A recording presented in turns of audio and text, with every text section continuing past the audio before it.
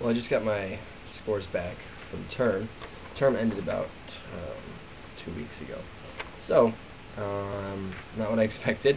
I don't know if I was thinking I was going to get A's or not, but um, for my primary, which I thought I did pretty well in, I got a C.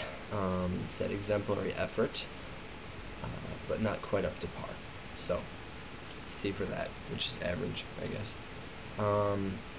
And I knew that I did worse in my secondary tutorial, so sure enough, in my secondary tutorial, I got a D.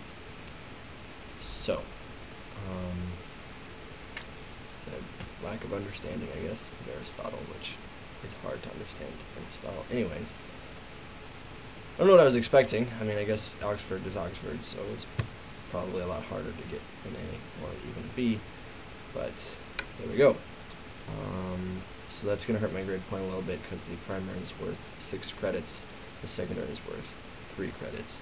So that's nine credits, more than half of my credits for this semester are below a B.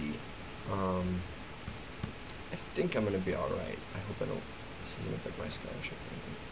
But I thought I should inform you because I just found out um, my grades for the term.